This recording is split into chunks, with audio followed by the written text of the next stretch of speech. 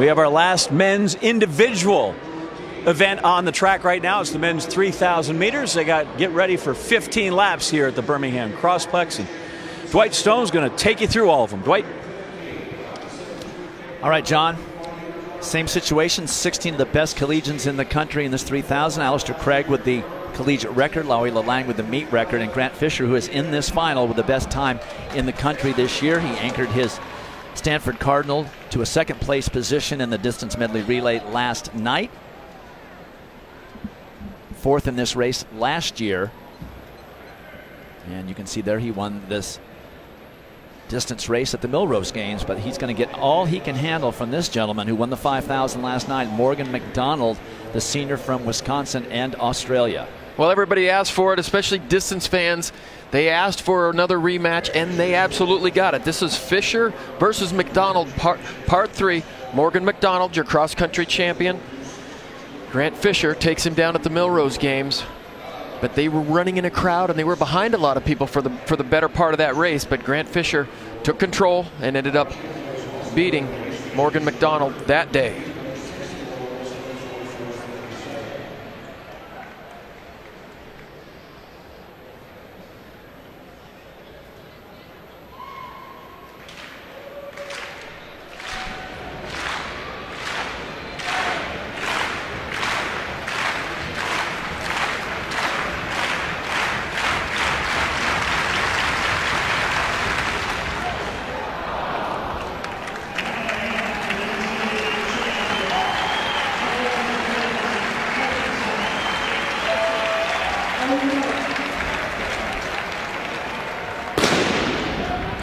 Seven runners on the inside alley, five on the outside. They will stay there through the first two turns and then break for the pole. 15 laps of this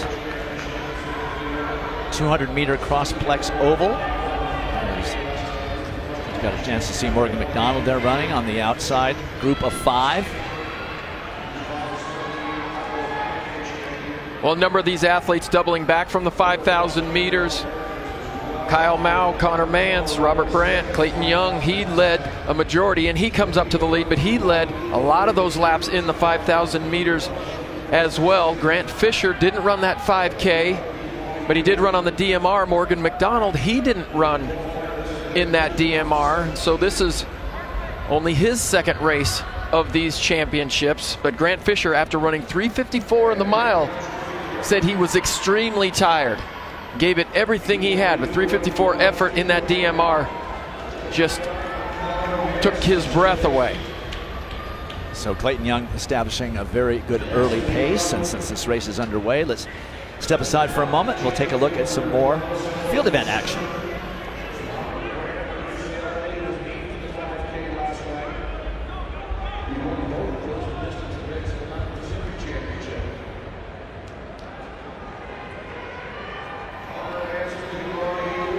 There's Stanford junior Grant Fisher. He had some regrets about finishing fourth in this event last year, but has a plan for a di different outcome this year.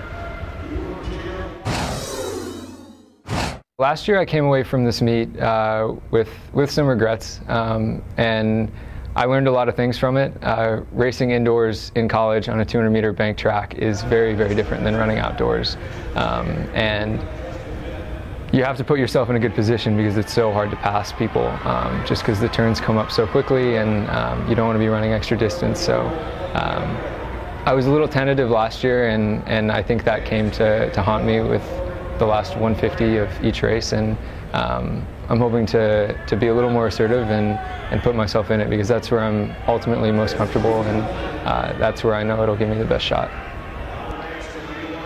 So Fisher is running about seventh place now as he's moving up. Well, Dwight, I was in the Armory up in the Heights in New York City during that during those Millrose games, and it was a really interesting and a little bit sad in that 3,000 meters. Kemoy Campbell, he's the distance record holder in all the distances for Jamaica. He went down in the first five laps. A number of other people took the lead, and Grant Fisher was able to take control with about four laps to go, three laps to go, but he was ahead of Morgan McDonald and there were some other people in between them. So when Grant Fisher actually went into the lead and made his break, Morgan McDonald was behind a other couple people, so he wasn't able to respond immediately. So it's a really different kind of situation that I'm gonna than we're gonna see here certainly tonight.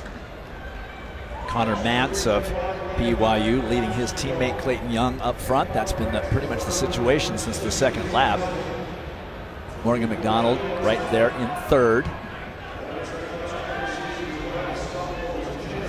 they've slowed it down a little bit. They had a couple of a 63, a 64, and now a 65-4.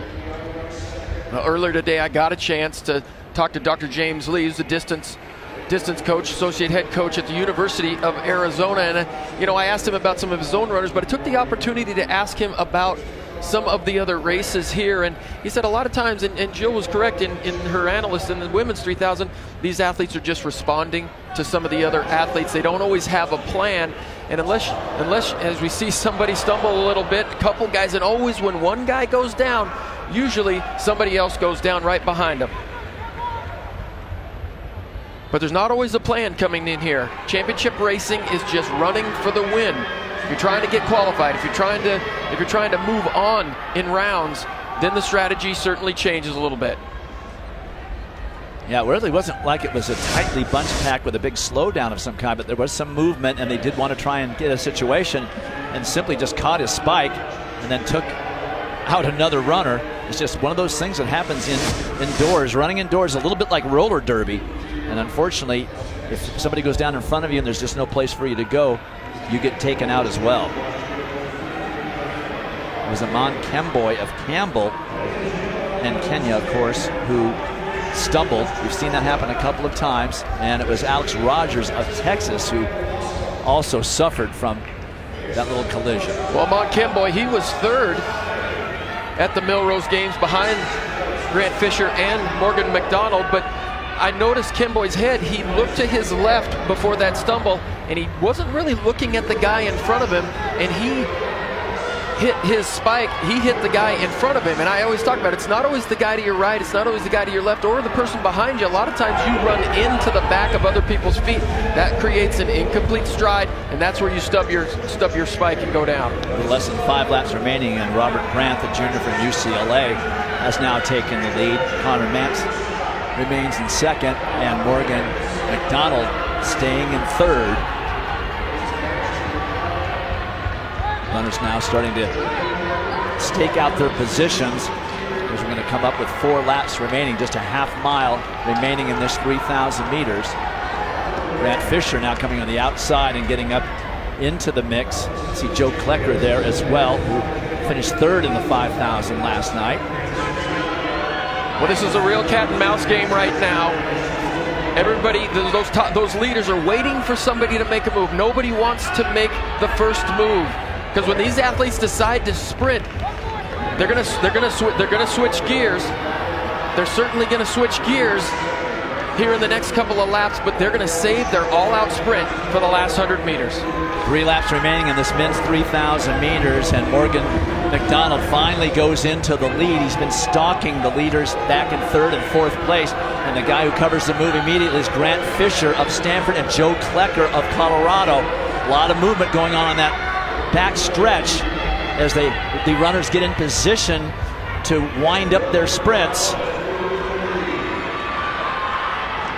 Clayton Young of BYU hanging in there. Now just 400 meters remaining, and Morgan Fairchild continuing to lead. Joe Klecker going wide now for Colorado. Looks like he wants to take the lead on this backstretch, but Fair Morgan McDonald does not want to give it up. Saw that same situation happen last night in the 5,000. Grant Fisher right there trying to get in position. He's against the rail. And there you can see the gear shift right there with Morgan McDonald. Bell lap in the men's 3000 and is Morgan McDonald doing much what he did in the 5000, changing gears with about 300 meters to go, but now he's got Grant Fisher right there behind him, who finished fourth last year. Joe Klecker losing contact. Does Morgan McDonald have enough? Coming back from that 5,000 last night, Fisher running a 354 1600 meter final lap for the DMR. Look at McDonald just turn it over. And he's a double winner 5,000, 3,000. And Fisher upgrades from fourth last year to second in 2019. Well, this guy's kick is absolutely devastating. You saw him change gears with four laps to go, and then you saw him change gears with 400 meters, 400 meters, but he just can wait and wait and wait. This guy doesn't have four or five gears, he has six or seven. But when you see his top gear, he's only going to be able to hold it for about 100 meters. Grant Fisher did a wonderful job covering all the moves. I thought Grant Fisher might get up on him with 200 meters to go, but literally it was the first guy to push it, makes the other guy chase, and it just comes down to regular foot speed. They hold the distance. Well, Morgan McDonald pulled away a tiny bit, but you know, if these guys were to line up in 100 meters, you know, maybe they would split it five five wins apiece. You know, they I just don't think they're that fast, but it's just that last sprint, and the guy who was ahead had the advantage. So McDonald scores 20 points for Wisconsin with a 5,000, 3,000 double. Grant Fisher unable to pull it off, but goes from fourth to second. Joe Klecker hangs on for third, and Morgan McDonald is downstairs again with John Anderson. Yep, Grant, I have 8,000 meters of goodness right here in Morgan McDonald. Uh, what, is the, what was the biggest challenge in this race? Uh, definitely just the head-to-head matchup with Grant Fisher. Um, he's my greatest competitor in college, and every time we race, it's going to be a dogfight. And it was like that today. I knew that was going to be like that, and it's really kind of just a tactical match between each other, I think. And so I knew that was going to be my biggest challenge. But you don't let him win. I try not to. he beat me last time in Millrose, so uh, I had that coming into this race, you know, trying to get one back up on him. But uh, yeah, I, uh, I, was lucky enough to get it done today. where was the turning point in the race for you, you think?